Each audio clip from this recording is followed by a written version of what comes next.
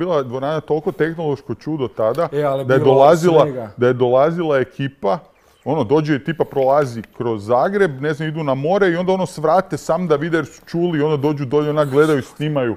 Gle ovo, Bila je ogromna, točno su imali ono za ovaj dio, za ovo, za bilo i kavez ring, tamo s onim gumama. I Fedor krok Da, up na zidu, da, sjećaš da, se. da, ono, To baš je ona ono, motivacija. ono, I non old stop su se puštali su se non stop UFC borbe negdje sa strane Bravo, ekranima. bravo, bilo je gore, da, da, Da, da. ne, ja sam uživao, meni to tam bilo, još smo mi, nama je Hambi sve sredio za džabe, imali smo još gore u Viti, evo te ono I imaš saunu da. stari bazen, ono, kaj si pa mi smo tam bili po cijele dane.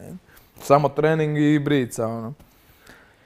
I ništa, pro- došlo je vrijeme da sad vratim, sad sam ti ja otišao skroz. Ne, super, odlično, pa to je i- podcast. Da, i počeli smo ti amaterske, ovo ono, odrađivali amaterske i šta ćemo, jebi ga, došao taj ono MMA liga i imamo profi, jebi ga, kaj ću. Ali još ja nisam, ja sam uvijek to volio iz gušta, nisam ja onak planirao, volio sam se onak na- natjecati, ali nisam razmišljao ajmo sad u profiće jer tad e, nisam još bio tak. Znaš, ono, nisam imao ono režim, taj ko danas kak imam profesionalno, ono, imaš trening ujutro, ono, jedeš, spavaš, odmaraš trening na večer i to. To je opet, ono, mi smo brijali malo drugačiji. Tadija, ja i svi. Ali smo se i dalje htjeli boriti. I došao je Sale i ništa, idem jedan buras kao kakav, kogod mi da je mi došao, ja bi rekao ajmo, imao sam stojku, ono, znam da sam dobar u tome, kogod mi dođe, stari prebit ću ga. Tak sam ti razmišljao, evo, to je glupo razmišljanje. I dođe Sale i ono, kogod da dođe, bum, bum, bum, počeo sam tak rokat ono, na- po njemu silovito i na kraju, eto, kad ti se desi čovjek ti izvuče nešto gdje nisi bio spreman, nisi dovoljno učio i eto ti flying armbar, stari. Koliko ti je bilo to razočarenje, zapravo šok za Kaj, pa meni je ono, muka mi bila, eto, ono, kad neko me pobjedio. Ne zato kad sam ja dobio 0-1, nego me neko pobjedio, eto. Znaš, ono, e, i z- zato kad ti se i piše, stari, meni dan danas piše to, ono. Da.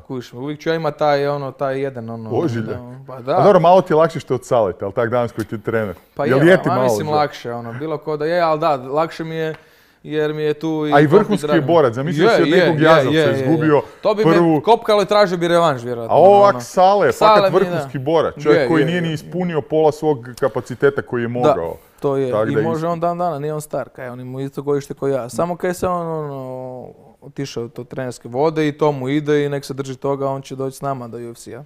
Ako već neće se on boriti. Zašto si šest godina pauzirao od mečeva? Gle, to ti je to kaj ti pričam. Mi nismo živjeli trening ovo, nek smo kaj mladci, 18 godina, kaj je, sjećaš sebe sa 18 godina? Sjećam, Kako kako ne sjećam još gore. pa to ti je, ne znaš kaj si radio i kak je bilo. Tak smo i mi živjeli, brijali sve ovo ono i nikak da dođe. A sam trenirao, trenirao, trenirao, pa ovo, pa ono, pa sam malo snagicu ubacio, pa sam onda, ono, znaš koliko sam klubova tak volio proći, baš da naučim od ovog nešto, od ovog, ono, baš sam sve dvorane, ono, u Zagrebu prošao skoro. I ništa, došlo je vrijeme jedno da sam skužio da, da pariram ljudima, ono, ljudi koji se bore i koji imaju ne znam kakve skorove, znaš, ono, i rekao, gle, hoćeš se tim baviti ili moraš nešto, stari godine ti idu, Možeš se, ono, nekog da te, ono, Kad si za- prelomio? Ha? Kad si prelomio u glavi? Jel Pa u eto, svako trebaš... prije, znaš kad, evo, na, e, cijelo vrijeme sam si, znaš kakav sam ja u glavi? Ja ti neću kao dok nisam savršen, ono, meni ono sve mora biti savršeno, ono, hoću tehniku, ono, savršeno. To se vidi prema tvojoj tehnici. Baš ti ono, Da, baš je izrađena. Onak, e, stojku savršeno, hoću Hrvatska, hoću imat dživu, ono, hoću sve imat, ono, baš da kad dođem da mi niko ne mre niš. E, i, I onda sam tako dugovlačio, nikad nisi savršen, nikad nije najbolja forma, stari, ono, odradim naj, ono, na treningu si, ono, možeš više od svih jer si toliko zabrio da mora biti savršeno i opet si onak, jebate, umaram se, ono. Stari, ono, nakon nekog vremena, ono, ne znam, prođeš 6-7 rundi, stari, umorim se. Ma daj, jebate. Nema čovjeka koji se ne umara.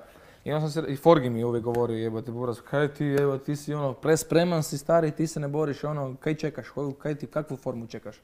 Znači, u biti bilo je do tebe. Pa For- mene Forgi je bilo. govorio, Forgi spreman si, spreman si, spreman Ali opet mi je bilo onak, nisam htio srljati, ono, znaš, htio sam ono da mi dođe to vrijeme samo po sebi, da onak, jer ja sve onak mislim da dolazi s razlogom i onak, točno mi sve, ne da mislim, nego vjerujem u to i sve mi dolazi s razlogom i sve mi dolazi tad kad bi trebalo doći. A jel taj 0-1 ima faktor da, da budeš pre- e, pažljiviji jer gleda, za, sa 0-2 fakat izgleda loše. Kužiš, znaš, ono, i to ti je,